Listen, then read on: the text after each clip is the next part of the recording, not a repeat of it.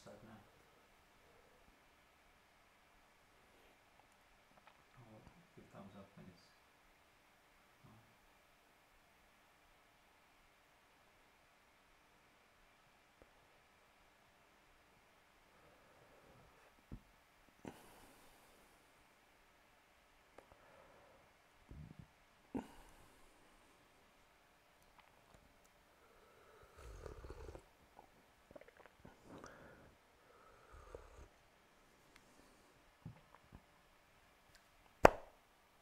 Hello, tea friends.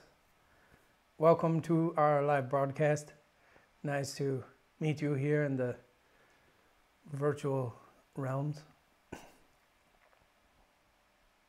Today's going to be a little different, unfortunately, for both of us because there's a lot of questions. So we're going to not have so much time. We can't spend, you know, 30, 40 minutes sitting and drinking tea in silence.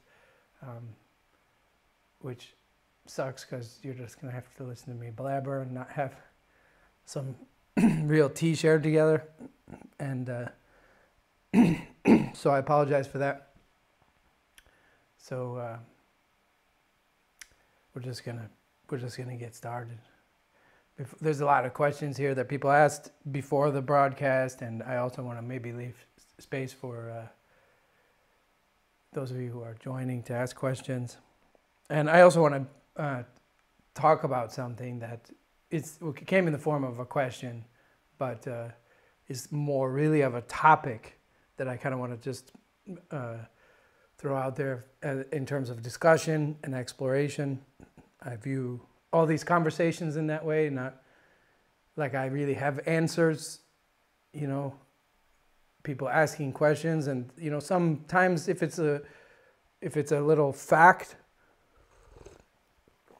you know, like where does, what province is Wuyi in, for example, then I do have an answer. I can say Fujian.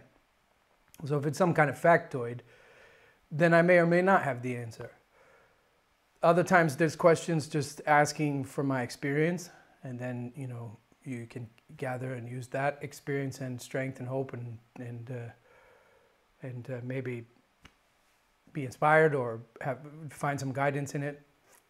But more I like to regard these conversations as questions, as questions that resolve into questions, so that we all continue to seek and and grow and explore together. That's more um, where I'm coming from. And that brings me to the topic that I really wanted to discuss, first of all, today, um, which came up in a conversation with a tea buddy. And uh, he had asked the question and, and kind of um, also asked me to discuss it the next in a, in a video we had talked about even making a, a video just about this topic. And then i realized that the live broadcast was coming up so i thought i would just make his question kind of the first question of the broadcast and kind of launch into this topic. And again just to open a dialogue open a conversation and, and explore a lot of it, a lot of it together. But the question that he asked and the discussion that we had was about the, the approaches to tea.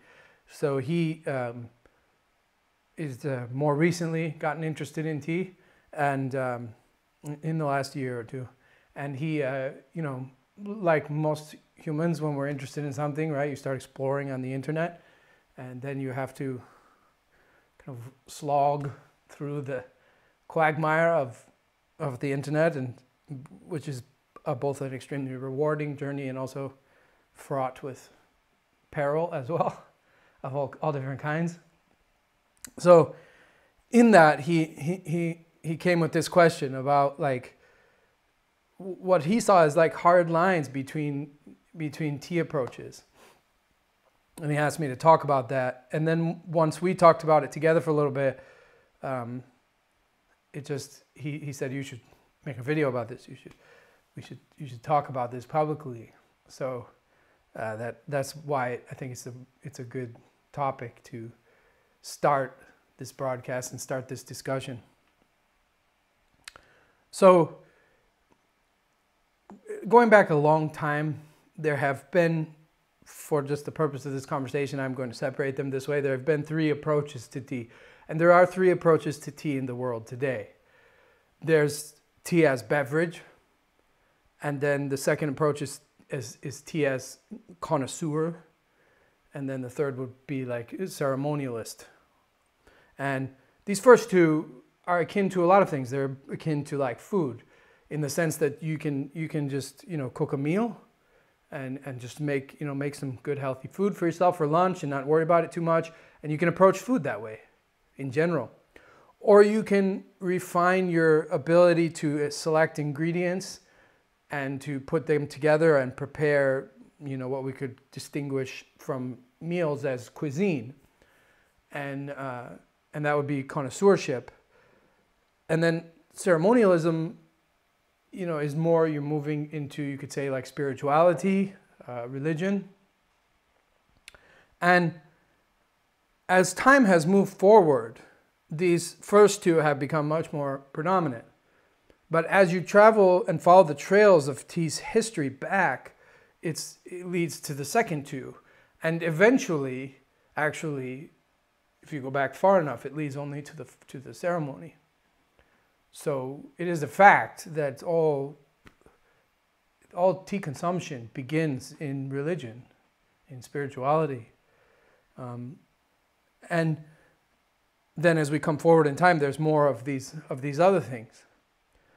And the first thing that I'd like to say about these, though it may seem like it because human beings are human beings and, and we're passionate, um, we're passionate about what we do, you know, especially these, these, this middle one and the third one.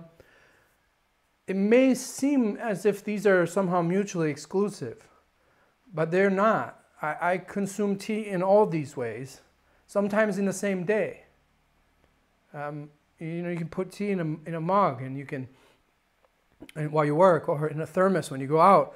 And then there's something to the, like, you know, the geekery and, and I love for, for quality and a love for refinement and a love for uh, making better and better tea. Finding uh, making tea means also sourcing better tea and making it in a better way, preparing it, etc., and learning all that. And then you know ceremony as well.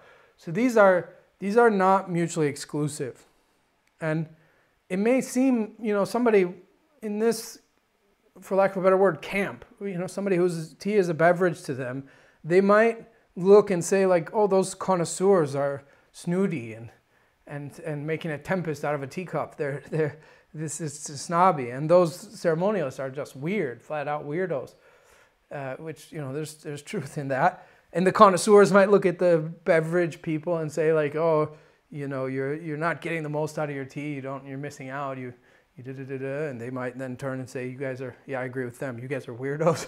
and then these people might be like, well, without spiritual practice, my life would would be missing so much. You two are missing, and like the, it becomes. Uh, I'm not saying there's any kind of like hard lines here, but sometimes you know human beings get stuck, and and we we uh, we don't we can forget to regard other views and other ways with curiosity, with openness and, and receptivity.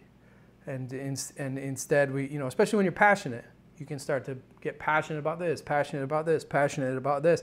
And then passion comes in and it makes it my friend said like he was just saying this whole conversation began because he was commenting on it it, it, it seems like these tracks are like isolated from each other and um, for me that's not so i feel like um, I, I could I could very much connect with with somebody who drinks tea as a beverage. I have friends like that um, and family members actually. Um, and you know, connoisseur, like, oh, dude, we'll geek out all day long. I love it. We'll, we'll chat about teapots and, and, and all kinds of stuff.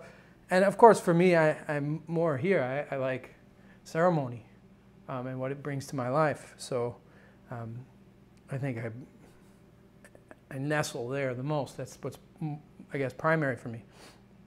But I don't feel like, I don't feel like nothing but love for all these people. Anyone who loves tea, um, you know, I, we could be friends and uh, we can connect. And there's a lot actually that we can learn from each other. Actually, um, if you think about it, maybe you know the the connoisseur could could could actually improve their tea with a little bit of the mindfulness practices that come from ceremony. And and the beverage people probably would enjoy their tea more if they adapted a little bit of technique. And and the ceremonialists might, you know, they could benefit from not taking themselves so seriously or their practice so seriously and relax a little bit and chill out and allow a little bit of that like material appreciation, sensual appreciation to come come in and flow in. We all also the the main common thing between all of these approaches to tea is its is its that we, of the love of this leaf. And so for me, I think the biggest thing that we share in common, the biggest conversation that I want to have with people coming from different approaches that, that approach tea differently than me, whether you approach it as a beverage or you approach it from a connoisseur level and you really appreciate it, or whether you approach it as a ceremony, no matter how you approach tea, I think the, the most important conversation is the impact that that tea has on our health and on the health of the planet. Because, uh, you know, you can't, or to put it in the form of a question, how do you love a leaf and not love the forest? If it's a beverage, don't you want it to be a healthy beverage? Don't you want the, and by healthy, I mean healthy for your body, healthy for the, for the environment where it grows, and healthy for the farmers. And if you're a connoisseur, then you know that uh, that tea is its environment. It is its terroir. The the main the main we in the in the modern uh, age we tend to focus on processing method. We tend to industrialize tea, but actually the environment is far more influential than the processing, or at least agree with me that it's as influential. Right? It depends on the tea really, uh, but but it's it's at least half uh, of, and I, and I would argue that in more cases it's more than half the quality of a tea is its environment. And by quality, I don't just mean its quality this way, in terms of like how fine of a tea it is, but also its quality in terms of its distinction, its characteristics. What makes it uh, Wuyi tea is Wuyi, is that place. So a tea is its terroir, it is its environment. Um, it, you don't ha- you cannot find healthy organisms in an unhealthy environment. The fish that live in a polluted pond are also polluted. Their bodies are also polluted. So the connoisseur knows that the tea is its environment. And if you're the ceremonialist, then you know you have to think like I'm trying to cultivate. Uh, you know, this is tricky, and I, am for for I can get lost and and and revolve in anecdotes. I, I do believe that in some ways tea is aimless. But with that caveat aside, I'm trying to cultivate peace, let's say, let's just keep it simple and say peace, insight, wisdom, but also peace. And so you, you have to ask yourself, how do I cultivate peace when the instrument of that practice is, is destructive? So I think no matter what perspective you're coming from, this is the place where we can meet and have really important conversations um, about, essentially about the environmental impact of tea growing. Um, you know, and there is evidence of the, you know, the detriments to, to our health of like conventional agrochemicals. Also, you know, hundreds of thousands of humans are dying every year. You might not know this from pesticide exposure. So there's certainly a risk to the health of the farmers themselves who are exposed to these chemicals. Um, and then, of course, it damages the environment and, and, it, and it then reduces the quality in terms of the connoisseur. I can't tell you how many times, you know, in Wuyi comes to mind, the late and great Master Huang, one of the most important tea people I've ever met in my life, and you know, one of the greatest uh, tea masters of the modern era because tea masters are farmers, not weird dudes sitting around on YouTube talking about tea.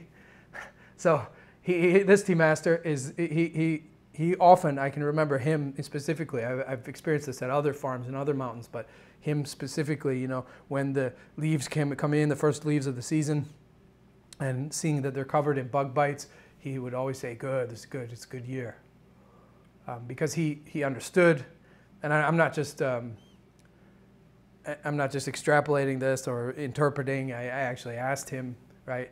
Um, at some point, in, you know, he, under, he understand or understood that that uh, you know, if there's a lot of bug bites on the leaves, it means that the environment, the, the ecology is vibrant. Means the because the insects also have predators, and so it means the whole thing is very vibrant. You have to remember when you chase away insects, you also chase away the things that eat those insects and the things that eat those things, and all of their poop and their dead bodies and the effect that has on soil and chemistry and air and you know, all kinds of amazing things. So the, those bug bites show him that the ecology is vibrant, that there's life, and that that extends to a fufu level as well. You don't have to go to any fufu level if you don't want to go to fufu level. You can just say that biodiversity is influential, um, but there's a fufu level of like that, the spirit of all that life. You know, when, when you go out in nature and there's a difference between going into like really sterile, uh, manicured garden and, uh, and, a, and a wild place where living things are living out their cycles. So, all three of these approaches uh, really, there is no lines between them. They're not mutually exclusive, and you know, there's enough dissension in the world that we don't have to have. Um, you know, any any form of disagreement or anything in between these, no matter how passionate you are, there's or where you primarily land, right? Tea has had these things for, for centuries, so it's important to just respect and, and, and allow people to approach tea how they how they do and, and try and learn from them. There's no need for it to, you know, of course you can't avoid disagreement if you're a human being. It's just, you know, even if you're uh, if you're a ball of sunshine, there are people that are just they're used to the rain every day and they don't like sun and so yeah they, it doesn't matter how positive you are they're just negative about your positivity or whatever it is they just want to find something to be upset about but um, i think it's just as you explore especially on the internet it's, it's easy to, to, to get um, you know lost in, in one of these you know? I think where where the ceremony often can, where I, which is where I mostly reside, the, the gift that I can bring to the to these two is, a little bit of um, you know tradition, and tradition has a better memory and a deeper understanding. And I see a lot um, when I, which isn't as much as, as as most people in terms of tea. I explore the internet, but I don't explore the internet looking for tea um, so much as, as, as I would if I was in a different life situation. But um, when I do it, one thing I see is like a, a, a gumbo, like a hodgepodge, a casserole of things mixed up that the person, the practitioner, might not themselves understand or know about. Right? So there, there's, you know, the like brewing tea in a, in a, using a chaozhou stove to pour water into a shiboridashi that you're then pouring into a Taiwanese pitcher that you then pour into a bowl made in the style of our lineage. It's there's like that kind of blend of many, many um, lineages and, and wares and methods. And I don't want to, I'm not judgmental of that. I don't think that there's anything wrong with that. And um, in fact, in my tradition, um, something that my teachers and have encouraged from the beginning and something I also encourage of my students is experimentation. Never take my word for anything. Um, a spirit of experimentation is good. It helps to explore and learn and, and it should never, that should never be end. That's good. So um, from that perspective, it, it, it's, you know, it's there. And I don't think any of these lineages would have any judgment about that mix either. Um, and yet, I think there's some perspective missing in that because, you know, like that Shiboridashi was designed to do something. It was built in a certain way and, and by people over time, and you're kind of sidestepping that. Um, I don't know. I mean, to, to what degree that that uh, resonates as disrespect to you is is up to you as individuals. Again, I don't have any judgment. I'm not uh, on behalf of even my tradition, let alone any other tradition. I don't want to stand as like judge of you did this or that or this this other thing. So I don't have any judgment. Um, so that's I think that's a personal decision. Is there is that is it disrespectful to do that or not? I don't know, but it's just a question. Um, in the least, though, I can say there you, you're you're missing, I guess, some of the uh, some of the richness of where where that thing comes from, how it's used, its history, um, you know, why it was created, what it was created to do. So you know, there's a these things were often refined over over generations to to perform specific functions in specific ways, sometimes um, for practical reasons, and sometimes for ceremonial reasons, right? When you go to learn sword form from this school of Kung Fu versus this Japanese uh, Bushido school, right? This school, they have their own like version of katanas, and this Chinese Kung Fu school, they have their own type of sword that, that is more flexible. And they will insist that you buy their sword and or a sword you know made in that lineage and there's a reason for that and the reasons are partially practical so you know the movements in japanese sword form the sword's more rigid because the movements are more rigid it's it's more of a like chopping and the and the chinese sword is used more flexibly and often one-handed. And so you need that flexibility. So there's all kinds of little practical details in why the sword has to be that sword. But there's also ceremonial things, like this sword might have a dragon on the hilt, and it might be a certain type of dragon, and that's in relation to uh, some teacher's teacher's teacher's teacher, who, and has some symbolism that connects to that lineage and connects to that, you know, etc. So I think you know teaware all has this this depth of history and this and and and there's a lot of practical things in it and a lot of I'm just using teaware as an example of what I mean, but there's, there's a depth of history in, in the practical elements, the significance of, of what it does and why, and also ceremonial things that are related to, to people and culture and, and all kinds of stuff that um, is deep and vast. And I think all that's uh, worth exploring. And uh, so, again, I don't want to trample on anybody's spirit of uh, experimentation. Quite the opposite. I want to, as enthusiastically as I possibly can, encourage you to experiment and um, in, in, in, whatever configuration. Um, so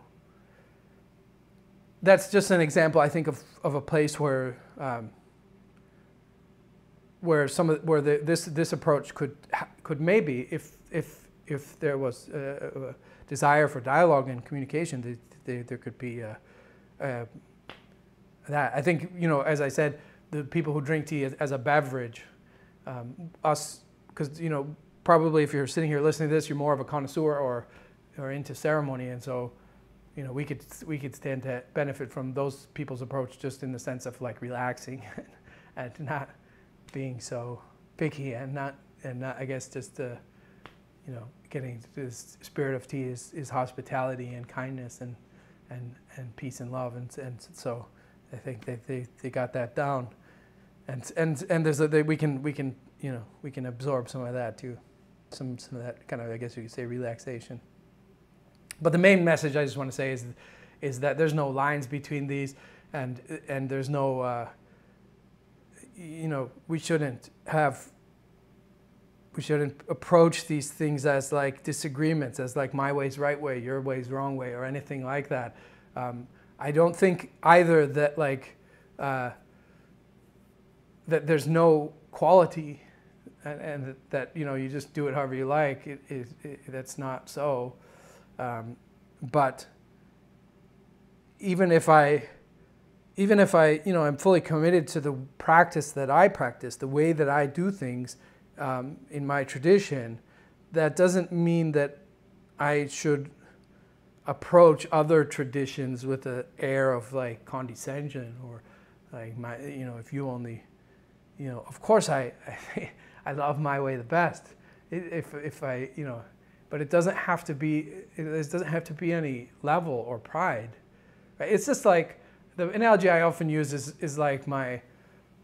Uh, you know, my wife, I guess, is the is the is a good one. There's two or three analogies I use, but the best one I think is just say that. You know, I I really love my wife, and and I I absolutely do think that she's the best woman on earth, but that doesn't mean that I think that all other dudes in the world are just screwed and they're they're they're they're all losers now because I've got the only one that's the best you know, it's like a dad who's watching his son play baseball. He's like, that's you know, that's my son out there, and and that I'm the proudest of him because he's my son, and uh, it doesn't mean you know, it doesn't mean I that he's better than all the other kids or of more value or something or that that you know that you can't approach it from that way, you know. So that's more of a, really healthy attitude. It's more just like what could I learn from this other perspective? How do I absorb it? And uh, how do I, uh, you know, how, do, how, does, how does connection happen? And through a love of tea, the connection should always be easy, no matter what approach you're coming from. So, you know, sometimes human beings don't, they're difficult to connect with, but, um, you know, we, we all should, tea people, facilitate that and make it as easy as possible to just connect to that person on the, from the approach that they're coming to, especially if you're the guest. You know, if you're the host, then you can kind of determine what's going to happen when people come to your place. But if I go to, you know, if I go to my buddy's place and he wants to chat about the tea market and and other stuff and kind of geek out on connoisseurship, I'm totally there with him. And if I hang out with my somebody in my family or something where tea's just a beverage, then you know, we drink tea out of mugs and chat about movies and, and, and etc. Right? So uh, these aren't higher or lower levels. They're just aspects of life and they're just approaches. Um, I, I, personally feel like it's uh, a tea journey is much more enriched by all of them. But I don't feel like it's a necessity or that like you know, these people are, are silly because they don't have this, or these people are silly because they don't have this, or that, you know, it, it really is um, okay, but uh, there's a lot in all, in, in all of these, and a lot of joy as well, and, and reward. So I feel like they're all aspects of, of, uh, of life. And I, and, I, and I feel like this one, you know, as time has gone on, we've moved into these two, and this one has become weirder and weirder, which I have no problem with. I'm I'm cool with the fact that I'm weird. I've always been weird, so just you know I'm a weirdo, and I'm fine with that. Um, you know, however, there is a there is a there are questions worth asking. Like you know, what is spiritual health? Most people have a have an understanding of what uh, physical health is and psychological well-being, but is there such thing as spiritual health? What does it mean to be healthy? Uh, what does it mean to be unhealthy in that way? because I, I think you can find very strong evidence of people who are physically fit, extremely fit, but kind of spiritually unhealthy and lost, and vice versa. People who are dying and their bodies coming apart, but they're spiritually very healthy. So um, I think these questions maybe aren't asked enough, and it's what they're worth asking. They're worth, they're worth talking about and discussing. So that's my little lesson for today, eh, eh, or discussion or exploration. Most of these things are just questions. They're just ideas for you to explore and, and think about. Um, but it was something that um, came up in a conversation and, and I thought it was worth sharing. If you do also start exploring tea, especially in the internet, and you feel like these approaches are at variance or something, it's the humans really that are at variance, not the approaches. Um, and that's just because people are passionate and they tend to disagree, especially on the internet, right? So uh, but really, I feel like uh, all these things are are not. There's no division between them at all. Okay, so we have a lot of questions. Um, I'll try to get to them all. Um, I'm not going to share the names of the people who asked them. I'll just keep them all anonymous. So the first question is What are your thoughts on when to have the teapot lid on and when to leave it off when it comes to tea genres, brewing method, or any number of current steepings, etc., and why? That's a good question. Um, but first, before I ans- answer that question, I want to repeat something that I say very often, which is uh, don't steep the tea, don't steep the genre. Right? You, you steep this tea. In fact, you can narrow that down to this steeping. Right? Steep this tea, don't steep a genre. You can't steep a genre. There's no recipe for genres. There's this tea, and it has its way of being prepared.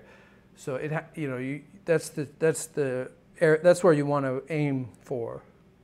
Um, that said, I will, you know, in typical Zen fashion, contradict myself and step back. Uh, taking the teapot off, taking the teapot lid off um, is helpful when you have a large pot. I, I, I like that you asked brewing method. Um, I think this happens more with a side handle. But it could happen in Gongfu tea too if you have a large pot. So if you have a large pot and you're brewing either a red tea or some green teas, um, for the most part. Again, I don't like the whole like brew, brewing genre tips. I like more of this tea tips. But uh, for light, light, you could put maybe baozhong in this category, like oolong, green tea, and uh, for um, and for red tea. These are the primary ones. There's might, there might be some other examples scattered about, but for these, if you have a large pot, that means there's a lot of space in the pot. And what's going to happen if you keep the lid on is uh, the tea is going to steam. Um, and why this doesn't apply to other types of tea is complicated and and uh, might go beyond the bounds of what we have space and time for here. I'm sorry, but uh, but that that that steaming will do. It's especially relevant in side handle tea where people are drinking bowls, and so they're going to take longer to drink. So there's there's more pause between steepings in a in a bowl tea ceremony than there is in gongfu tea. Um, so that ideally in gongfu tea you want to reduce the time between steepings as much as possible you know, you don't want to rush and like just consume the tea. But uh, you know, one of the benefits of drinking tea with people who know how to drink tea, especially when you're brewing gongfu, is that the, you know the rhythm can go a little bit faster. There's a lot of reasons for that. But in bowl tea, obviously, people are you know meditating the, the ceremonial side of it, and so you can have a lot more time between steepings. And you've got a large pot, and so the leaves are going to steam, and that's going to do two things. It's going to make the tea less patient and it's also going to give it a kind of steamed flavor. It'll give it a flavor a little bit akin to um, to uh, boiled tea, and um, which is not a problem if you don't mind that. But um, what it will do is, you know, oftentimes, especially the, the early steepings of red tea are where you get the, a lot of the sweetness and, and, and flowery, fruity fragrance, and that will diminish more quickly. Um, so for those teas, we tend to, in those situations, tend to take the lid off. Otherwise, it's the opposite. You want to preserve heat on the inside, and so um, you would want to keep the lid, lid on. That gets complicated and goes off into other directions um, that, I, sorry, I don't have time for. You can bring in uh, further those questions later on. Uh, next question, will there be any new cakes like the Moonlight White from a few years ago? I love Moonlight White tea. Uh, very possible we could do some this year or another year. Moonlight White is a type of, uh, of pu'er, technically. Um, and, uh, you know, I think the ones we had usually came from Jinggu. Um, there's other places as well that can make it, but um, I, I, think that's the one you're talking about. I'd love to uh, make some more tea from there if that happens. Um, as the person seeks the leaf, the leaf seeks the person. Our flow with teas tends to be uh, we don't seek so much. We let things find us. Uh, okay. Um, some of these questions, obviously, this is global tea hut, so some of these questions are coming from people around the world, and English isn't their first language. Um, so I'll do my best. Uh, when tea teachings become something organic, when I manage to internalize the technique and the steps and the movements come out as something natural. I feel more available, and uh, I try to go to the beginner's mind. But I feel that I also forget the meaning of why I'm doing it this way. Um, this, this, you know, the, the, no, you're on the right track. Like the the purpose in practicing movements over and over and over again is not to constrict. It's the opposite. The more you practice doing things in a formal way, the more it becomes part of you and the more it becomes a rhythm so that you can do what is appropriate in any given situation. Like like I just said, brew the tea. You can adapt to the environment that you find yourself in, right? It's like a martial artist who practices forms over and over and over again so that, you know, if he's in a conflict in a bar, let's say, or, you know, to defend a, a child or a woman or whatever, eh, that he can't use any of those forms, obviously. He has to adapt to the tapestry of the situation he finds himself in. But all those forms are within him and have empowered him. So, in order for the great guitarist to go on stage and just let loose, he or she has to first practice forms for decades. This is, you know, the forms do not constrict freedom, they empower it. They create the muscle memory, they create the, the, the, the power that makes you comfortable in any situation. Right? So, even psychologically, practicing the form over and over and over and over again creates the the psychological confidence to handle yourself in, in a new situation when, when things need to be adapted. Right? Oftentimes you see, I see it a lot, I guess, in spiritual communities in the West. And something ha- you have to be careful of in yourself, where, which is that understanding that freedom is the goal can become an excuse to get lazy and not practice the form. Right? So the Chajin does not skip the form just to just to because freedom is the goal. That doesn't work. Right? This this tension happens sometimes with East and West. This misunderstanding when uh, they, you know, I'm paraphrasing, but some of the early stories, for example, of um, Master Suzuki when he came to America, and people in San Francisco were like, you know, I'm not, I can't come to the meditation this Saturday. I have to. There's a Grateful Dead concert in the park, and he would say like Zen of Grateful Dead concerts, and they would say like, "This vegetarian food's not good for me. I'm gonna eat a burger," and he'd say Zen of eating burgers, and so they were like his answers were just like if the situation if the if if the universe puts you in a concert, then Zen of concert. If the universe puts you in the situation of burger eating, then Zen of burger eating. But this could be misinterpreted. This Zen is doing whatever you want. It could be interpreted as like an excuse to skip the form, right?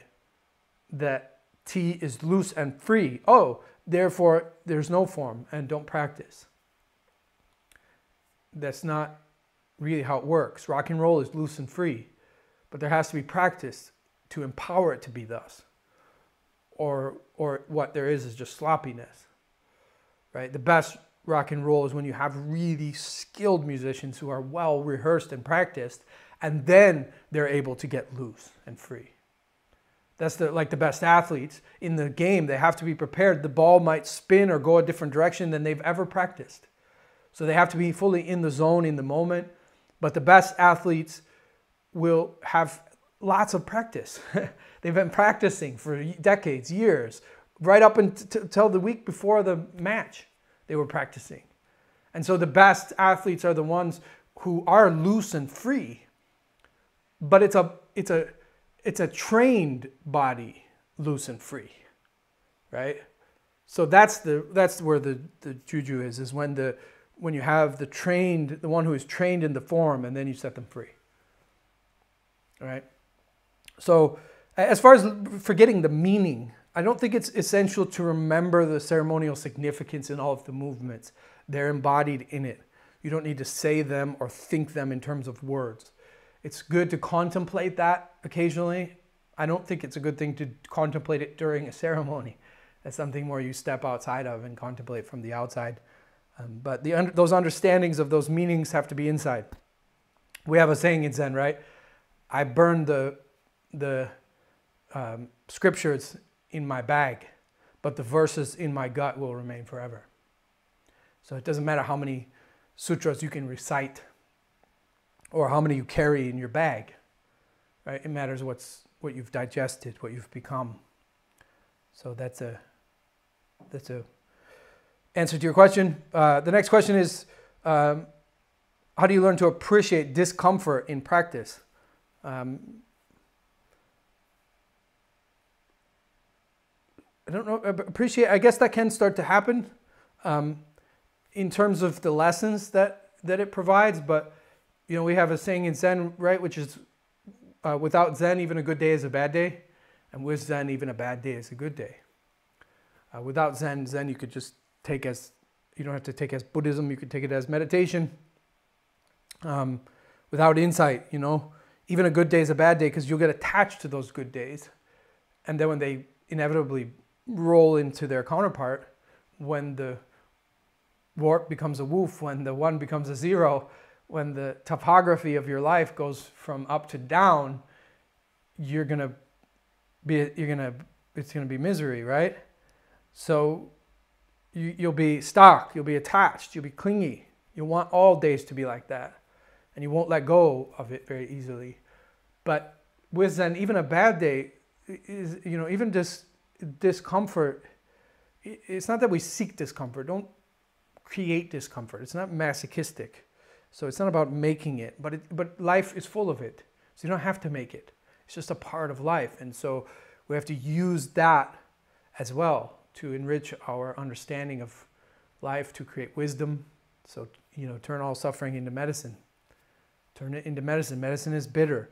But you can learn to appreciate the bitter medicine once you start to experientially um, feel or understand the positive effects, right? Like if I'm really sick and I take this very bitter, nasty medicine, as soon as it starts to make me feel better, I can cultivate an appreciation for it. Um, and you know, really, any day above the ground is a good day. There's an eternity of, of, of intimacy and, and beyond this life very soon. So any any day is a, is a good day. Any day is there's something to learn, something to breathe, something to be. Um, this is a silly question. It says, "Will human beings make tea on Mars one day?" I have no idea. I hope so. That's rad. I like the idea of thinking of that. I think you can make a chaxi and uh, uh, that's all red, and maybe you you you make some tea. So pretend you're on Mars they're, they're up there right now, NASA with some stuff. I've, I hope more energy and time uh, and resources uh, are invested in space exploration than have been the last few decades. When I was a young boy, there was a lot more. I wish there was more now. Um, I think, I, I, guess that's starting again, and, and that's really nice to see. I think it's important that we explore space, and, and if there's humans on, on Mars, then maybe they'll drink tea there. Uh, next question. I would like to know everything on the present status regarding the new center. Latest news, if any. Uh, thank you. Um, we're, we're, we're in the process of, of looking. If you saw it in March, we usually send it in February, Chinese New Year, but we sent it in March this year, the financial report that you all got, Global Tea Hut members, so you'll be able to see where we're at financially. Um, we have a lot of assets in TNTware, so if you don't want to just donate money, you can to our GoFundMe. But if you don't, if that's not what you want to do, you can just help us to liquidate all that TNT work because all the TNT work that you're buying is coming from right now. We have something four hundred, five hundred thousand dollars worth of assets. So the more we liquidate that, the more financially we step closer to that. Um, again, as, as I said, as, as the person seeks the leaf, leaf seeks the person. I think it's the same for the property. Uh, I don't know about where you live, but here in Taiwan, the property laws are extremely complicated, um, especially land, just bare land it's, it's, it's extremely complicated zoning. They're trying to, it's a good thing. They're trying to prevent um, too much expansion and growth and building, etc. So they're trying to control that. And so there's a lot of complications and you know that's the decision. Do we want to buy a property that already has a building on it and renovate it or do we want to buy land and slowly build? There's a lot of those types of questions. The biggest um, kind of bottleneck right now um, for the last year is, is the bottleneck that I think everything, everything's facing uh, this last year, which is just the pandemic. And overall, uh, that bottleneck is is is is an issue. Um, how, uh, direct, how it's directly affecting the progress of the center is simply that um, you know this is something that we want to do together, and so there are some people that have helped us in the form of guidance and and you could say advisors since the beginning, and um, and and those advisors and and and, and volunteers and helpers and and uh, you know be they financial support or be they uh, in terms of advice and guidance none of them are able to come here right now. So um, when we the properties that we have found it's a little bit challenging because we can't show them to the people in whose trust we you know, whom we trust to help guide us to make final decisions um, but there are some there are some negotiations happening there are some um, promising properties happening. we, we will keep you in the loop. We've continued to make videos about potential places, even though many of them didn't work out. We still made videos about them, um, you know, not even, even, just to keep you guys in the loop because it's your center as well. And uh, so uh, if you can't support in any of purchasing TRTware or donating money, then please help pray for us. Um, so I, I, I think that is also a currency that we need. So that's the best I can do. Um, we will, you know, hopefully make some more videos soon if we find anything promising or if anything takes a step in any direction. But right now, we do have a couple promising places that we're just waiting for an opportunity for Taiwan to open up a little bit so that some uh, of our advisors can come and, and uh, help us. Uh, what advice would you give to a tea practitioner who is sitting at home and meditating alone without a teacher? Surely there should be guidance. Uh, so basically, how do you practice if you're stuck at home alone in a in a pandemic? Well, I think that's you know it's a perfect opportunity to practice. I think it's a it's a it's a misunderstanding to to assume that that I don't have enough tools. I need more tools, right? It's just like, you know, it's like anything. It's like a photographer saying, if only I had that one light, if only I had this new thing, if I only had this new uh, camera, this other lens, or this other this or that, I'd make better photography. But no, you wouldn't, right? You already have the tools that you need to make good photography. Uh, potentially, that tool could help you to create uh, create something. Uh, different, right? To explore, or, or to, that tool could help make things com more convenient and save you more time. That's often what tools help us do is, is that. Or they provide some, some quality, some genuine quality, but they're not necessary. You have enough tools. So I would examine the part of you that is like bored. Like I, I have the teachings I need. I need to move on to the next level. There's no level, right? In we, there's scrolls often in the tea rooms, right? 1 to 10, 10 to 1. So you go 1 to 10, and then what do you do? You just go back to 1. Beginner's mind. You can start in the beginner's mind every day. You can practice just leaves in a bowl. You can, you know, you have all the, if you know, if you have a meditation technique and you have a space and a time to meditate, do you have all that you need? What is, what is, what is, the, what is missing, right? Um, and I think, you know, the biggest danger for for any spiritual technique is and, and this is where I think this in our modern age especially this is probably the greatest obstacle to progress. I, in tea, I think, and also in, in in spiritual practices as well. I see it everywhere, which is which is turning the teachings inside out. Right? You got this coat that was given to you to keep you warm and you turn it inside out because the inside is obviously cooler, cooler looking. I mean, it's, it's fashionable. What I mean is that, uh, let me try and put this another way. These are inward moving teachings.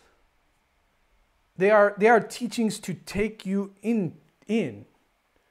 And there is a propensity, especially for beginners, to take that inward moving teaching and project it out. Because you, you go in and you see, wow, it's beautiful in there.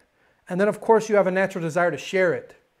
And then there's a, then there's, it, it, you turn the code inside out, right? And it all becomes about projecting, right?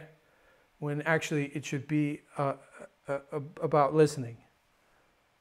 And you don't need many tools, right? You don't need many, uh, you don't need, you don't need, you know, people used to make this excuse a lot to my, my teacher, especially when the, the lay people that came from the city, you know, I don't have a meditation cushion. He would say, fold up a towel. And they would say, uh, just like this person, they would say, I don't have a Sangha. I don't have a community of meditators where I live. And he would say, get a cat. Cats are very Zen, so get a cat, right? As like some, as some old saying, I've known many Zen masters, and they're all cats, right? Get, you don't have a Sangha, get a cat. You don't have a cushion, fold up a towel. You don't have teachings, go to the library.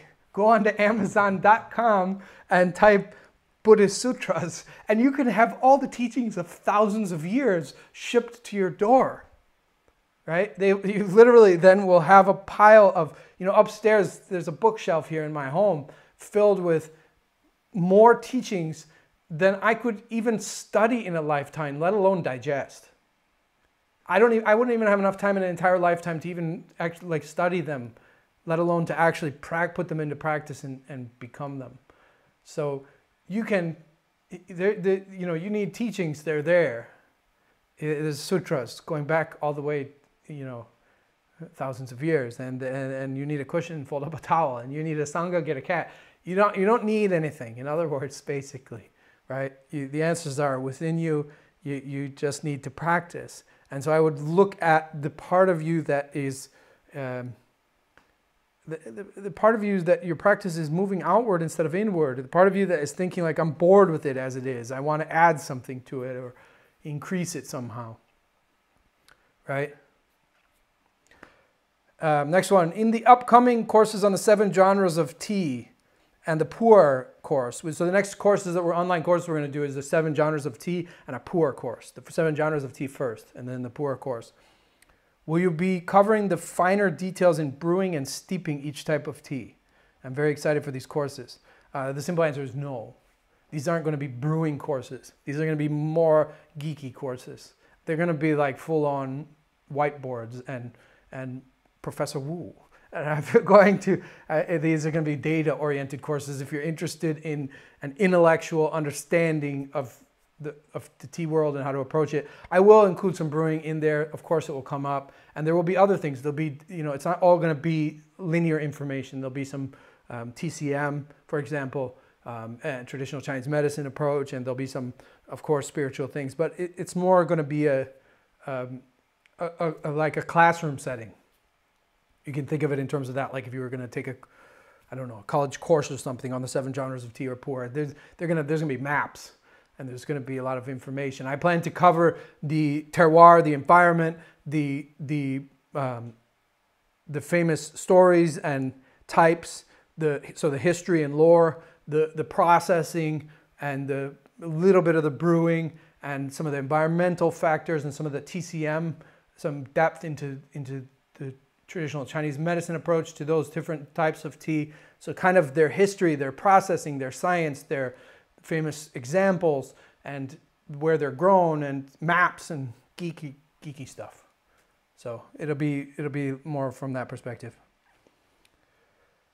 Um, will there ever be an, a Gongfu online course? Potentially. There's some barriers to that, but I'm open to it. We've been discussing it. Um, and I, I, would, I would enjoy that a lot. Um, do you have any thoughts on aging pu'er in non humid conditions such as Australia? Um, that is a, I mean, that would be a huge part of the pu'er course, aging tea. Uh, that's just a very big loaded question. Uh, I don't have any answers. No, I don't. I, I, you know, the only place to successfully mature pu'er tea, to, to, you know, traditionally it was said that 70 years was full maturity. Um, it does change beyond that, but there, there's a reason for that. It's not arbitrary.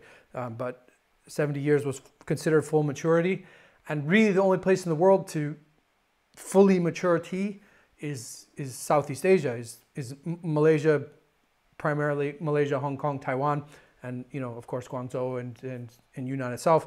So uh, what happens in different places is all new.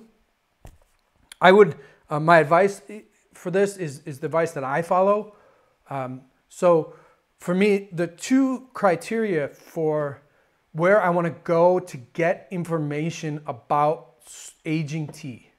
There's, I have two criteria for whom I want to study with, whom I want to listen to, right? Because there's a lot of people talking. Again, the internet, especially, is, is a quagmire. And I don't have any problem with people sharing their experience, and I don't have any judgment.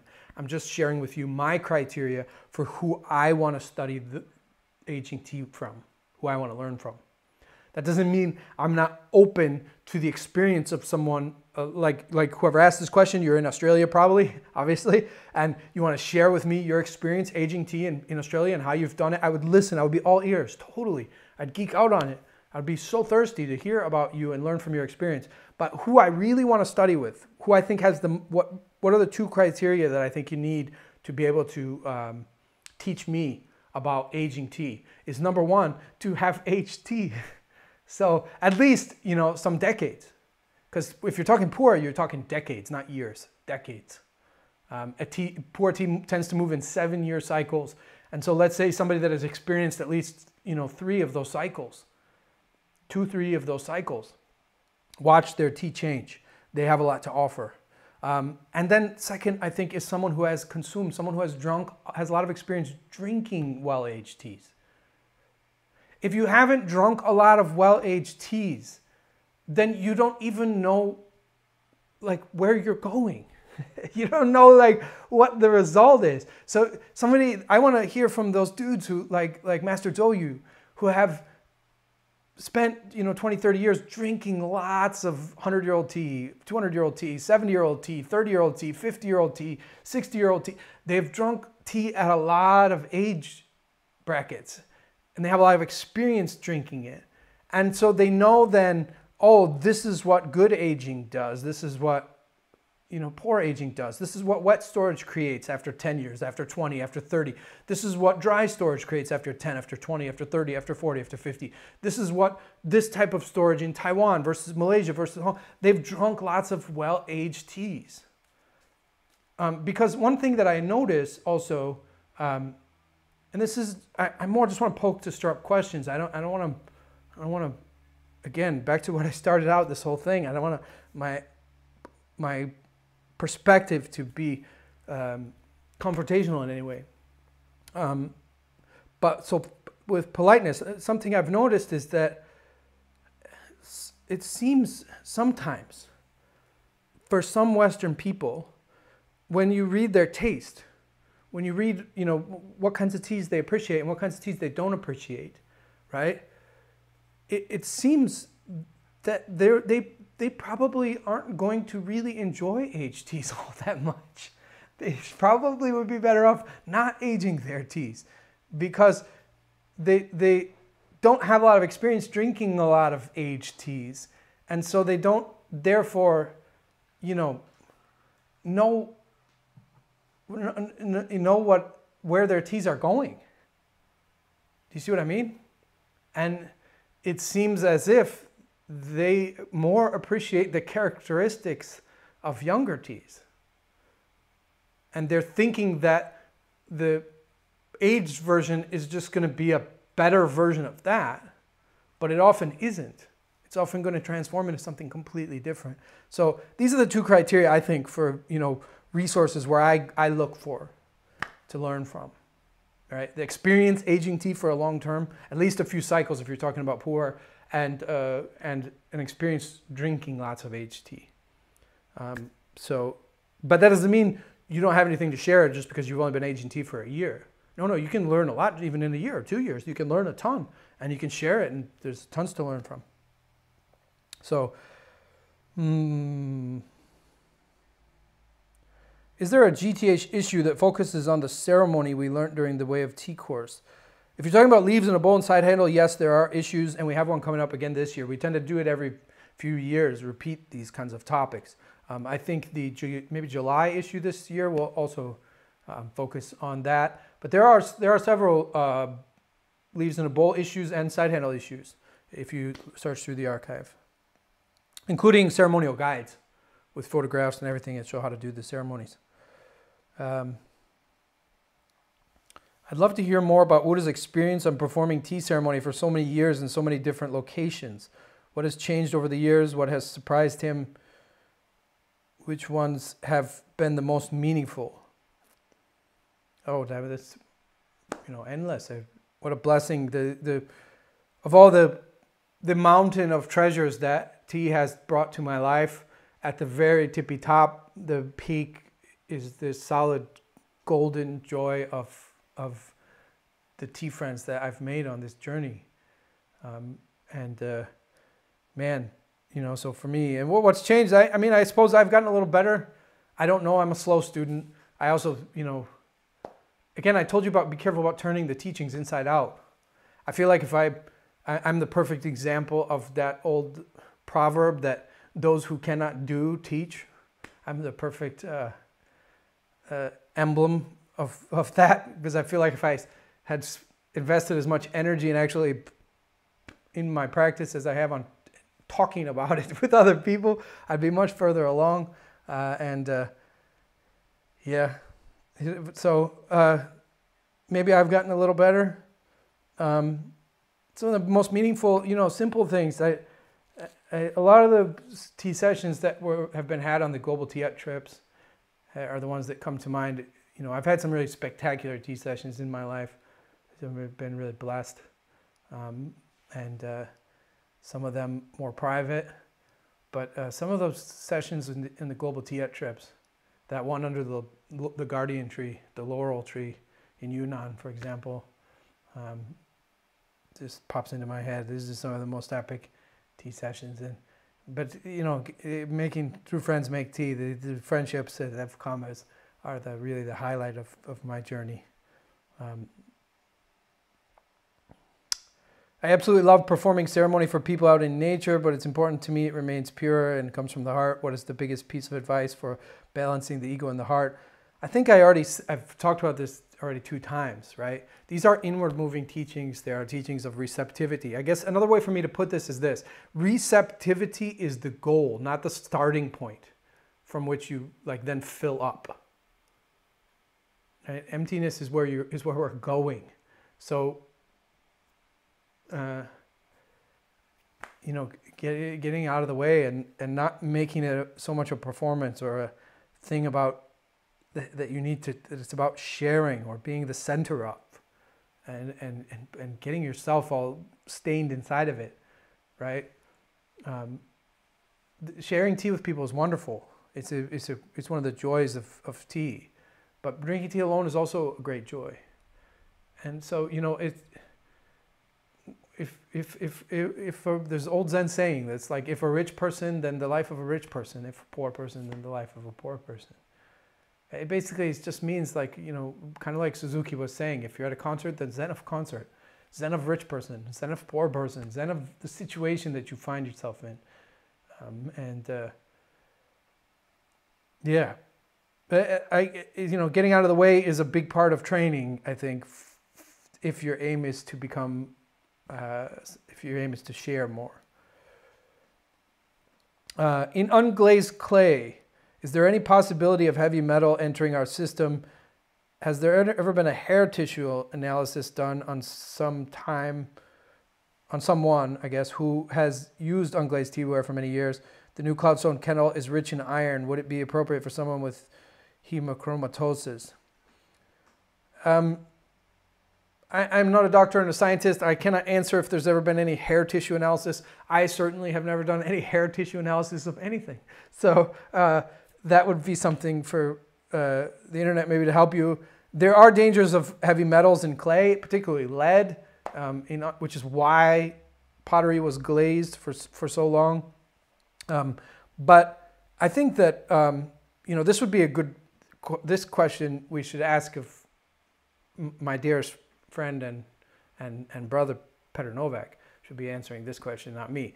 Um, but I, my uninformed and bumbling attempt to answer this question, other than to steer you in the direction of someone who actually knows what they're talking about, is uh, to say that um, I think that potters have this pretty dialed in nowadays. Um, so the, the, dangers of that are low. Um, in terms of there is some iron, like in Tetsubins and in our cloud, cloudstone. Um, I think in Tetsubins a lot more, obviously, than in, in our cloud, cloudstone kettles. Is that a danger for somebody who has too much iron in their blood? I, I don't know. I would possibly in the case of a Tetsubin, I would highly doubt it in the case of iron-rich clay. I would highly doubt that. But I don't know a ton about this particular uh, malady of someone who has too much iron in their blood. I don't hemochromatosis. I, I don't know. I don't, I don't know a ton about it. So um, I guess it would also just depend on how sensitive that person is. Um, but um, I wouldn't worry about heavy metals in the in, in kettles. You, you get more. There's other areas of environmental pollution getting into your body that are more serious to worry about. Um, but you know, you can um, experiment with that and let us know. Um, but I, I, think that potters nowadays are pretty tuned in to what is or is not in their clay and their their uh, you know what is safe to food safe and what is not.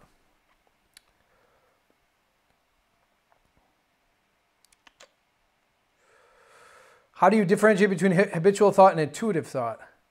Um, well, you know, this the answer to this is the answer to there's there are three, as my teacher always said, there are three techniques of spiritual cultivation.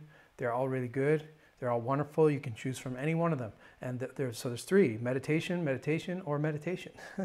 so meditation increases sensitivity and self-knowledge, self-awareness, and allows you to begin to understand the difference between uh, impulses, habitual thought, and intuition, which is a type of impulse. So I can understand, I'm not uh, trying to, I'm being facetious, but I'm not trying to put down the question because it's a good question actually because um, impulses in terms of habitual thought, since intuition is also an impulse, they have a similar frequency.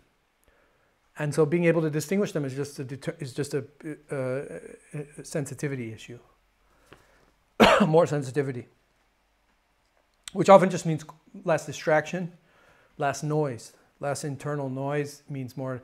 So it's not about adding something. Sensitivity is not something we add. Again, this whole practice is about receptivity. It's about opening space. It's about decreasing density. The wisdom, the abilities are already there. You just have to release the noise, right? It's a bit like, I don't know, like I'm into audio. And so it's about you know, eliminating noise from the audio signal, not about like adding something to it. And the clear, the, the, then the, music comes through more clear, right? And so the, the same with tea. When we prepare tea, we want it to come through clear. How would you choose, or what would you be focused on when choosing a red tea for aging? Um, I mean, the most ageable red tea is is going to be uh, Dianhong, obviously, because it's pu'er essentially. Um, but any red tea is aged is ageable. So, um, what would I focus on? If I'm if I'm choosing red teas for aging, for me, I I think a lot of the same like aging questions come up in general. I think the first question you need to ask yourself is, will this tea age well where I live? So if you're in a place where the humidity is a lot lo lower, then Dianhong might not be the best option. It might be better for you to choose other red teas that are that are drier, um, moisture in terms of moisture content that have been roasted um, and are just oxidizing. They aren't oxidizing and fermenting. If you are choosing Dianhong, actually it's better to, if you can, if you have any say in the processing, it's better to get them to oxidize a little bit less than they're used to for their ordinary red tea. Um, but so the location and then space, how much space do you have for aging tea realistically? Like, and so you want to fill the majority of that space with the teas that are going to age the best where you live. So if you live in a place where oolong is going to age best, you should have lots of jars of oolong. And then like, dude, trade that for pu'er later on or, you know, aged oolong is incredible anyway. Aged red tea is great. So would, location, how much space you have. And then like, you know, how wonderful is that tea to consume young when it's new? Right? So if it's if it's already above a certain quality level, um, in terms of red tea, this doesn't apply as much to pu'er. But it can in other certain ways. Like, for example, for me, like the, the, the if you want to pu'er that plays into this, that enforces the same thing what I'm saying is like, I think like High Road for me, uh, or Blessing is the version this year. It, it's not a tea I'm so uh, interested in aging, not because it won't age well, it will. It will age certainly. It's from old growth trees. It's gonna, it's strong. It's got lots of juju. It's gonna turn into a great tea. But it's already, it has one of the, it has something extremely rare for young Sheng Pu'er, which is that it's incredibly delicious and wonderful to drink when it's young. Not all pu'er is like that, for me at least. So I gotta have teas to drink while my teas are aging. it's what I'm saying, right? I, want to have teas that are really good. Uh, that I'm not just sitting around going like, oh, this is okay, but one day I'll have some good teas. I don't want to live like that, right? So it, this is a this is an important question for me uh, in terms because space is limited. No matter who you are, you either have a cabinet or a room or a warehouse. Even if you have a warehouse, the space is limited. We have a warehouse, and warehouse space is still limited. We, in fact, thinking of getting another warehouse. So is it crazy? So you you know you, you your space is limited.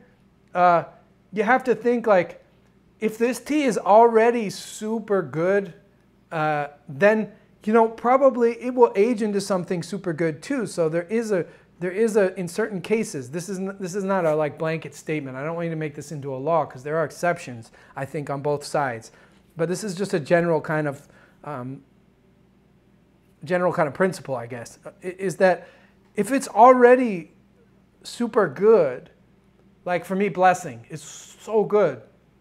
Certainly, I'm going to put a little bit aside for aging. But since it's already so good, I, I, I just could drink it. You know? It's already really, really, really, really, really, really good right now. So like if it's if it's like that, I might age a bit of it but I'd, I'd, if it's good enough, if it's like if it's crossed that line, I guess that's different for all of us, you know. But if it's already really good, so that that's a that's something for me. Um, it says, would it be better pressed or loose leaf? That depends on the tea. Um, for Dianhong, obviously, it's better if it's pressed. Um, for a lot of teas, you wouldn't want to press them. It would damage the the high notes in the tea. It would damage the the uh, especially in red teas where you have a lot of delicate, fruity, like higher uh, higher notes compression, steaming and compression would destroy that. If you compressed like elevation or, or a gongfu red tea from Qimen or something, it would, it would ruin a lot of that. So you, you, you would want those teas to be loose. And then they would be aged. Um, so the next question, conditions for aging red tea. Is it um, more like pu'er or more like oolong? Well, if it's dianhong, then the conditions are like pu'er. And if it's uh, and if it's other red teas, then the conditions are very much like oolong. Most red teas in the world are essentially oolong. We talk about them in terms of being like fully oxidized, but they're not. They're just the, you know, red tea is just the last station on the oolong line. It's just oolong tea that has been uh, often. It is just oolong tea that has been oxidized more fully. Even the stories of the origin of red tea are stories of like you know it's typically the the emperor's soldiers were moving secretively because they were going to ambush some rebellion and they stop in the tea village and tell the villagers you got to house us for tonight and the villagers leave aside their tea to take care of these soldiers and because the tea was left overnight it oxidized and thus red tea was born. Some version of those stories. So uh, it's very much akin to oolong in the dryness and the fill the jar completely so there's no oxygen and et cetera et cetera worry about mold more if it's loose leaf. So uh, that's the best I can do in a short time. Hopefully that's helpful. Uh, do do do. Some thoughts about the connections between Zen and tea. Um, can I speak about uh, speak about this connection in a way that inspires tea people to deepen their commitment to meditation? and the Zen practitioners to dive deeper into tea. Simply put, why should Zen practitioners study tea and tea practitioners study Zen? Oof, this one huge. This is a whole video of, uh, all on its own. Um, how to be succinct. Um, well, let me start about with my own tradition, and then maybe step out because that's where I can really speak from the heart of it. Something I often tell my students is if you're not meditating morning and evening, you're not practicing tea in this tradition. Full stop. Full stop. If you are not meditating, not practicing tea. Uh, meditation and tea are one. The, his, the, the connection between Zen and tea is, is, is ancient. Tea passes, no matter what lineage you practice in tea, you, if you trace it back, it will pass through the halls of Zen. The entire mainstream of China was introduced to tea through the monasteries. There is a, is a long and rich and deep heritage there. Um, in terms of practice, why should a tea practitioner meditate? Um, because that meditation is the answer to a lot of the questions earlier. How do I prevent my ego from getting in my tea? How do I, what do I do when I'm practicing alone? You know, meditate. Meditation, seated, tea is not a substitute for seated meditation.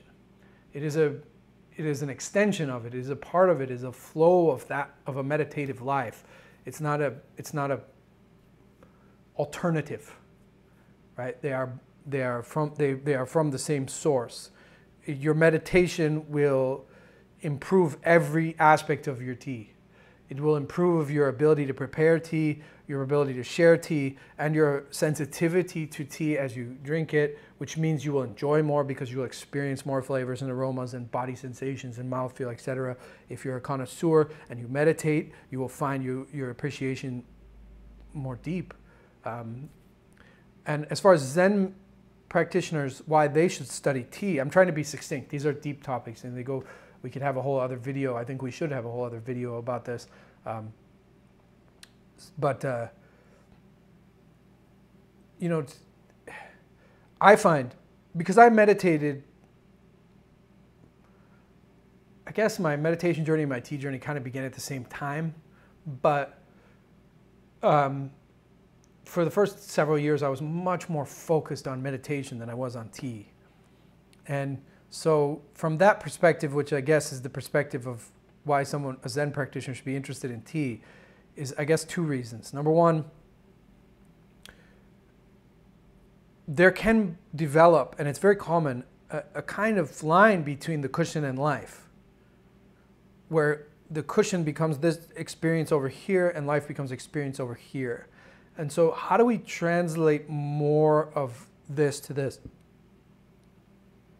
Right, I think is the is the is a deep question because if we if you if you want to be more, you know, these are this is a weird way of talking, but I'm going to do it.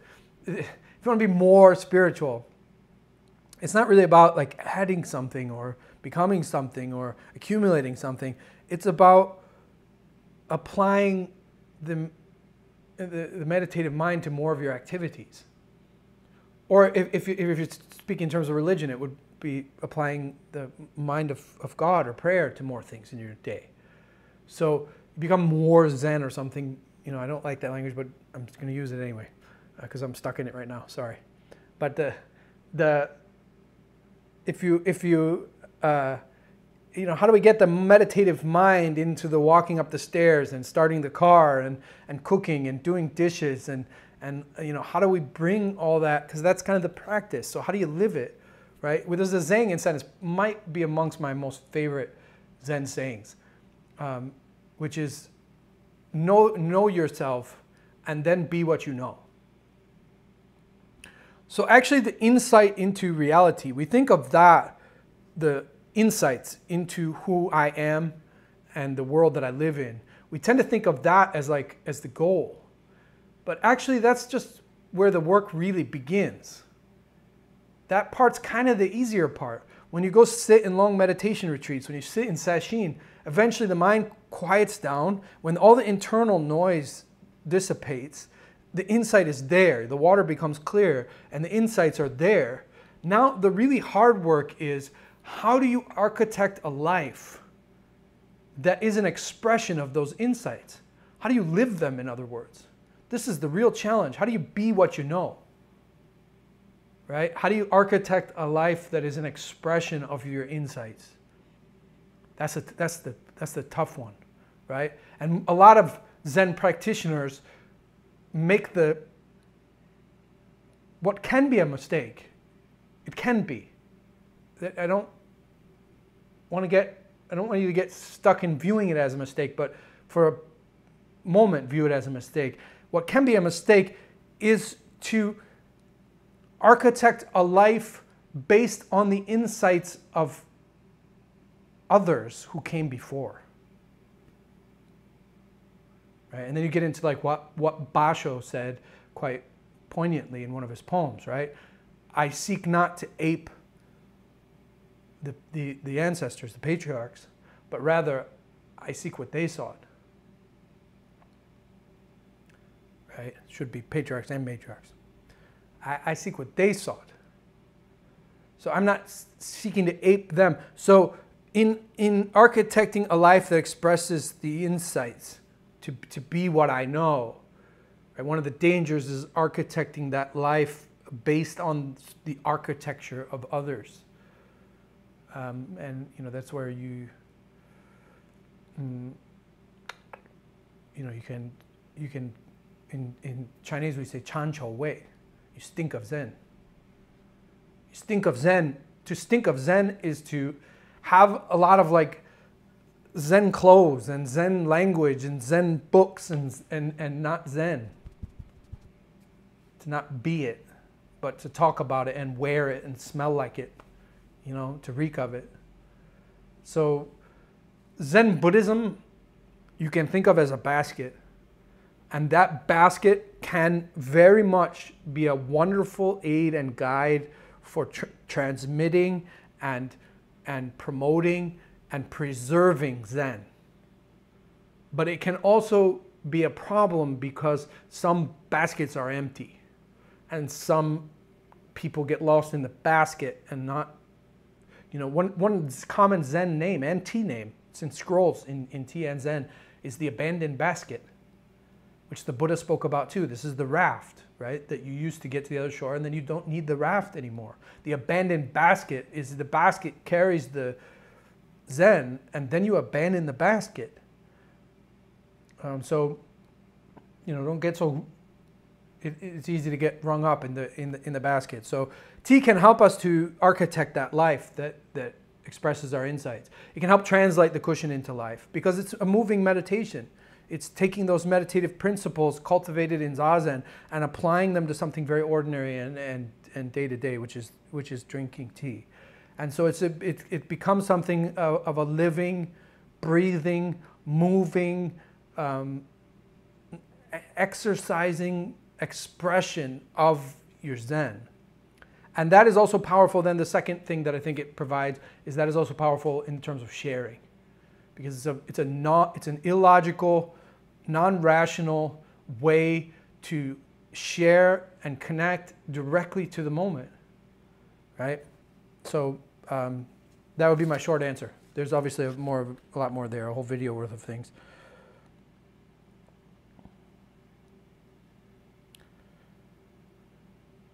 This, this the same kinds of questions coming up a lot. How can we avoid pushing our practice onto others? Tea gives us so much, and of course, we want to share it. But how can we share it in a skillful way so that we don't push it onto others? This is wonderful. I love this question. This is exactly what I was saying. Don't turn your coat inside out. It's like these teachings are much more beautiful on the inside. So picture a coat that is like just plain blue on the outside, but on the inside, it's like silk paisley. Glorious rainbow silk paisley. It, it, so it's much more pretty on the inside, right? So keep it that way. There's a tendency to be like, whoa, dude, this coat's so rad on the inside. I'll wear it inside out, right? But you, you want that facing inward, right? Allow your, allow your, your own practice, you know, those who are interested will come and they will come and they will come and they will it, it, there's karmic stuff in this too. So let uh, let people be it's basically what it is. Just let them be and focus on your practice. Don't focus on their practice. Their practice is not, not your practice. And then you're starting to turn your your turn your coat inside out It's common. You, the coat starts to benefit you, and it's beautiful, and so you get enthusiastic, and you want to like. I, I'm guilty of this, especially long ago when I first started getting into meditation and Buddhism. I was guilty of like pushing everybody in my family to go sit meditation courses and like you know ruining family gatherings by only talking about Buddhist meditation. You know, back when I was like 20, I'd come to the family gathering, and I'd just come back from you know 10 day retreat and uh, i'm so enthusiastic because of the positive influence it had in my life and even in the retreat i'd be sitting there like on day six distracting myself with like oh dude, dude my, my mom should really be take a course like this and oh like my friend my friend he he you know he would be he would benefit from this so much i can't wait to tell like and then i'd get home and tell him and just you know be a an all-around dingbat, right? Basically, and, and, and annoy people. And there's no need for that. There's no, uh, there, there's no need. You just let the, you know, if you look at Faces from the Master, there's a famous story that is retold. I retell it in my own way, but it's about Hazrat Inayat Khan, and like he, you know, the story is basically really short. Like he, they, they build this big lecture for him where he's going to talk about Sufism, and he, he shows up. He shows up like first of all like two hours late and by that time, like 30% of the crowd has gone away. And then, and then he, and then he, uh, he like, he's drunk. He comes on stage and like drops a bottle and like he's all, all, all completely drunk. And as a result of that, like almost everybody goes away. And this crowd of thousands has become like 15 people. And then he sits up, right? And he's like, all right, come up here on stage, right? And he says, you know, like, let this sleeping people sleep they need their sleep. They basically like tread quietly and, and don't disturb. Um, it, it, it, it's this way, you know, walk, walk quietly with your coat turned inward and the, the right, don't worry about quantity. The right ones will find, share your practice. And you don't have to share your practice with the intention of getting other people to practice like you. That's unnecessary, and it's not a it's not a, a helpful quality to have in your um, uh, in your you know in, in your life. So in, in, your practice, and so you, you just you know you, you walk quietly, walk quietly. You know, Zen teachers going back thousands of years, they all had. This is one of the things I struggle with the most as a Zen teacher is how to how to bring this like some of these old methods that were incredibly effective but are completely unsuitable to the modern era? How to like how to get the same effects without them? It's like basically how to cook the same pie when you don't have access to one of the main ingredients. And how do you translate them? If, if you are going to keep them how do you translate them to the modern era? You know one of those was you got to remember like not only were teachers out in the mountains and there was no Google or you couldn't like go online and sign up for a course that you pay for and think you're owed something as a result of paying for it. it. You had to like really literally kind of go out and find these dudes. They were in the middle of nowhere, often up like very dangerous paths, like around cliffs and, and hidden. They didn't want to be found. And then when you get there, they throw icy water on you. They don't want you there. They, you have to like passed through all kinds of like and this was done the throwing icy water was done to like winnow out all the ones who are not fully committed i guess.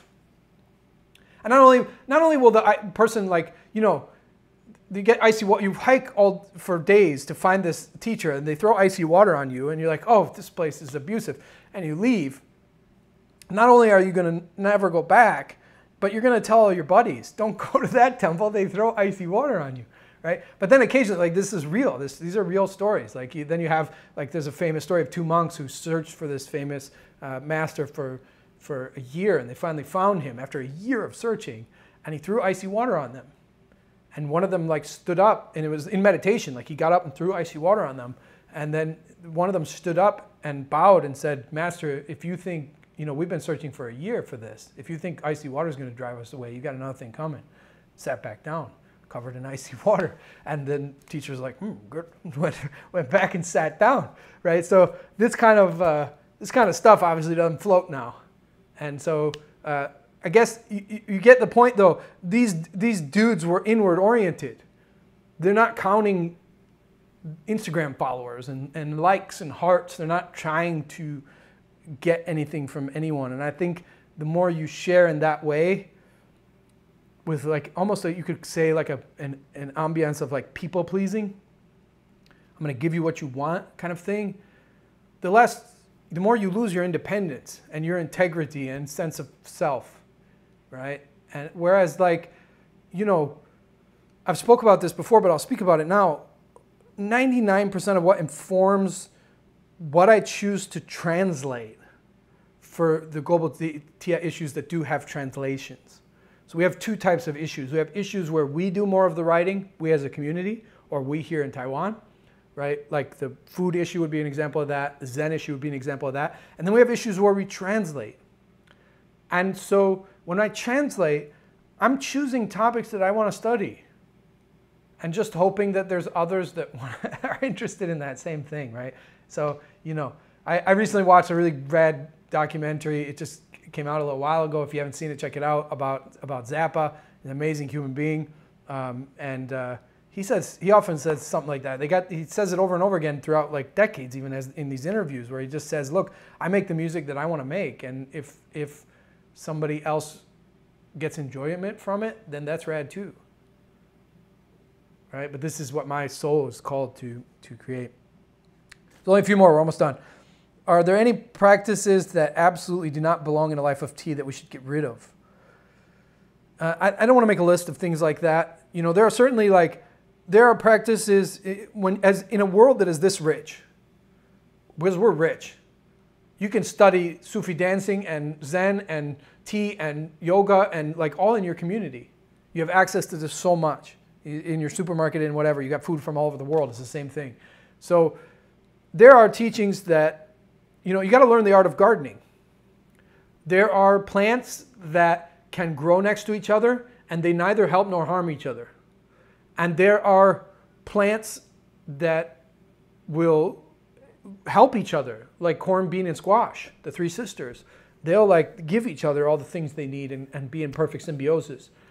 And then there are there are techniques that don't work in the same garden. There are plants that will hinder each other. So you need to get sensitive to that in this age. That's a skill that's required. Ideally, you want to at least choose practices that neither help nor harm each other. And, and even better, choose practices that are symbiotic and, and helpful, right? Um, if you want just a real easy recipe, if you're starting from scratch of, of practices that, that align perfectly with tea, it would be the practices that grew up along with tea, right? Zen meditation, martial arts like Qigong, Tai Chi, uh, you know, those and tea, and uh, along with uh, um, uh, meditation, those are practices I think that align very well. Mm. Is it possible to have two Taos at the same time? For example, Cha Dao and the Tao of painting, or is it something lost? Um, I, I, think is this something lost in splitting our efforts into two different areas? I would say yes. Uh, life is short. Um, I don't think that one has to have only one interest and be completely into that. I, I have a lot of interests. I'm interested in photography. I'm interested in music and, and hi-fi. I'm interested in pens. I'm interested in writing. I'm interested in painting. I'm interested in a lot of things, but tea is my Tao. Uh, and, and you, you, know, you, you, if you have two buckets and you have a limited amount of time, so like just think of it this way: like you have an hour and you have this little pitcher, and it's only, it only holds a little bit of water, and you have to go to the stream and get the water and pour it in the buckets, right? If you have th two buckets or three buckets versus somebody that has one, and we time them for an hour, right? That person will have a lot more in that one bucket. And if you've spread it out over three buckets, you'll have a lot less in each one of those buckets. So you will understand each of those buckets less. The mastery is, you know, I, I, I think it's like really, it, it, it's like anything. You can, you can get 90% of anything in like, in like 10 years, or uh, they say 10,000 hours, right? Like that, you get the 90% in the 10,000 hours. But then the final 10% will take you the rest of your life, and you may not ever get there. Because some of that last 10% is also affinity. It's like inborn talent. You can't do anything about it. So you will spend the next decades and you might get another percent or two, but some of those percents in that top 10 are, are to do with just like, you know, the, the, the stuff that separates, you know, the Michael Jordan and, and other great NBA basketball players or something. It's, you know, some of it's just inborn. It's affinity. Uh, but it, it becomes slow and it becomes methodical and it becomes, it, it, it starts to get deeper and deeper and deeper. And, you know, so um, time is limited in this life. You want to be a jack of all trades and master of none, or do you want to master something? Um, because if you master something, you master everything. That's my advice. but have interests. I think it's really important, especially for spiritual practitioners, to have hobbies that do not get in the way of their practice. So that we, like, I started out this conversation saying one of the things we could learn from those who approach tea as a beverage is to not take ourselves or our practice so seriously. When you have a hobby, right? And it doesn't interfere with your practice. Like, you know, I have many hobbies. I just told you I paint, I write, I listen to music. I love hi-fi. I love music, but I would I would never skip meditation to do those things. So it's not in the way, but it also brings levity to my life. It connects me. It makes me more grounded and more human.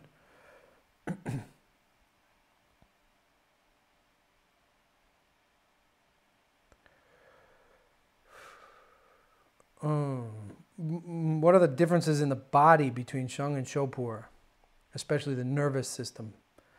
I think that's more of an answer that needs to be researched in terms of, of you know biochemistry and, and those types of things. I don't really have an answer for that. Um, my answer to the difference between Sheng and Shou pu'er or, or the consumption of Sheng and Shou pu'er would be more from an experiential perspective. That's all I would really have to offer.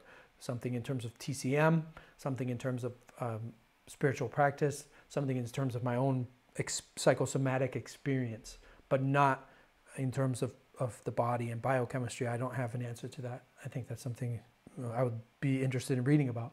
I wish there was some research providing some more data about the difference between Sheng and Shou in terms of its impact on the chemistry of the body. I would like that. In fact, one of the things I think is missing from the most tea research in the in the world is that it, the the researchers know a whole lot about the biology or chemistry that that that they're coming from, the field that they're coming from, but they don't know anything or very little about tea. So you have to wonder about like varietal, environment, agrochemicals, pollutants, um, Sheng versus Shou in a pu'er study, right? And so, you know, and the, there's such a tremendous difference between the different mountains in Yunnan and the different varietals of trees in those mountains and garden types. And, and so it would be nice if, if more of the researchers had a better understanding of tea that they could bring into this, the, the study. And I think that would, at least from the perspective of a tea person, that would be better, right? I think a lot of the studies tend to be too general and they're often done with like tea bags or things that, you know, are grown in much more conventional ways. And so if they find something detrimental, you have to wonder, is that applicable to organic, like ecological tea and or ecological tea? Uh, I don't know. Like, is it more of a pollution in the environment, or is it because tea is very sensitive and sucks things up? Or if they find health benefits, same thing. Are those benefits in every varietal? It would be nice if there was more uh, such research between like the difference between Sheng and Shou. But I can only answer that from like a TCM perspective or from a um, from an experiential perspective. Is there a specific way to store each type of tea? Uh, do you think do you think all like to be in airtight jars or bags? And what about in drier climates? No.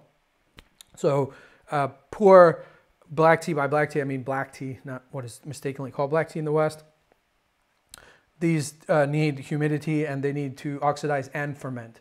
So they need airflow to keep the fermentation, the, the, the anaerobic, the, the microecology healthy. Most teas uh, are just oxidizing as they age like oolongs, uh, green teas, etc. We made a video recently about Wind in the Pines, which talks about aging green tea. Um, jars are always better than bags, but if you don't have space for jars or the money for jars for every one of your tea, then obviously uh, bags are uh, an alternative. But storing in a jar will always be better. Um, and if it's airtight, that's good. You want it to be um, glazed with certain types of tea and unglazed with others because unglazed allows more airflow and, and looser for the, especially Pu'er and black teas. In, and what about drier climates? Drier climates are better for storing teas that just oxidize, like oolongs and um, red teas, especially oolongs, I would focus on if you're in a drier climate, and um, pu'er needs a, a wetter climate. Can you talk about the relationship between Guan Yin and tea? I've always thought she was a, spec- a tea-specific goddess de- deity. Wondering if there's more to that story. Guan Yin is not. mm, Guan Yin is right here. I, I worship Guan Yin myself, um, and have for many many years. Guan Yin is not a tea-specific deity. Guan Yin is a Buddhist uh, bodhisattva um, of the highest order of bodhisattva, and Guan Yin is not. Um, in Sanskrit, her name is Avalokiteshvara, the one who, who hears all cries. She hears all cries of the world. She's mercy. She's not even a she. Many of them are hermaphroditic. The one I have right here is hermaphroditic uh, because Guan Yin is able to take the form of whatever is needed. Wherever there's mercy, wherever there's compassion, um, wherever there's help, that is an embodiment of Guan Yin. Guan Yin is that energy in the world. Guan Yin is actually her shape is often based on Mary. Um, Avalokiteshvara was more uh, hermaphroditic or more male until Christianity came to China, and there wasn't enough female goddesses. There was just Xi Wang Mu, and so um, the like you know the veil that you often see Guan Yin wear, that is not a Chinese article of clothing. It's it's Mary, and, and the early Guan Yins actually all were holding a baby, just as Mary was. So she's based on Mary, and a similar kind of energy too. Is a mother, mercy, unconditional love is what Guanyin represents. Now, is Guanyin connected to tea in the same way that all Buddhism is connected to tea? In the same way that all Guanyin is is arguably the most prevalent um, deity in uh, in China, and there are some who worship her in the in the way of a deity, but traditionally she's a she's a Buddhist bodhisattva, and you can look into what that means uh, more deeply. It's beyond the, this question. So there are stories and relationships. The most obvious one would be um, tea from Anxi, which is called Tie Guan Yin, Iron Guan Yin. Um, and the, if you look, we have issues in Tea that relate the stories, the legends, a few versions of them actually, of why that tea is called Guan Yin. And so you have some stories of, of Guan Yin that are related to tea because all of Buddhism is related to tea, all of Chinese culture is related to tea as well. So everything Chinese is, you will find some place where it crosses tea. Um, everything, including Guan Yin, but there's nothing really other than that Anxi tea. Um, there's nothing really specific about tea, though they they share a lot of the same spirit, right? Because you could say that tea is amongst the more um, compassion-based practices within Buddhism, and Guanyin represents that. We have a thousand-arm Guanyin in our office, right? And each of the arms holds uh, medicine, different types of medicine. Books, because you know wisdom is, is a type of medicine. So there's medicine like the sutras, and then you know all kinds of medicine, money, things that people need to find healing. And there's tea leaves in some of the arms, so some of the people need tea.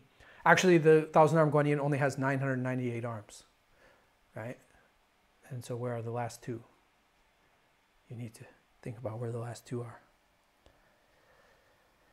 Any suggestions for which teas to share with people coming to sit for the very first time? I have been using elevation as a sort of gateway tea, and I'm curious if there's others you would suggest. Um, yeah, elevation is a great tea. I would suggest using simple teas and teas that you like a lot. Again, right? Rest, be comfortable in sharing where you're at and where you're coming from, but with the aim of, of, of honoring and giving to, get to the guest. Um, never serve a tea that you're unfamiliar with, unless that's the purpose of the gathering. Unless there's two tea bodies and you're coming together, hey, oh, let's try your tea, let's try my tea. But otherwise, always prepare tea you're familiar with so that you can prepare it well. So, a tea that um, that you know very well and you know how to prepare well, um, and then you know. It, but I don't, I think you, you can get stuck in, in patterns and always remember brew this session. Every chaxi is unique. Cha hui. One chance, one encounter. Every session is unique. And so what tea to prepare will depend on the weather. It will depend on the, the brewing method. It will depend on the guests and what, whether we're going to be in a ceremonial setting or we're going to be in that connoisseur setting gonna, or the beverage setting. We're going to like, you know, we're here to appreciate tea and geek out on it. We're here to sit in ceremony. What kind of session is this going to be? What's the weather? Where are we at? what kind of people are coming, how many people, what type of teaware do I need, how do I prepare the tea the best will depend on all of those factors. And so, um, really, it's about being really adaptable, highly adaptable. But in the beginning, especially if you're starting out, stick with teas that you're really familiar with so that as you get better at preparing them, that better at preparing them is something that you can also share with others, which is really, really cool.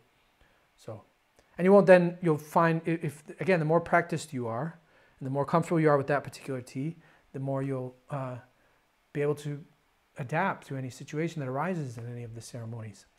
And sticking with a good tea that's delicious and has good energy and is simple and suits that time of day and that season. Um, so you know, we, we there's some other uh, snow swept is a really good one that would that's kind of like elevation in that it's it's really good. Ruby red is also on the site. There's one called um, Cloud Temple. Is that the green tea? Cloud Temple.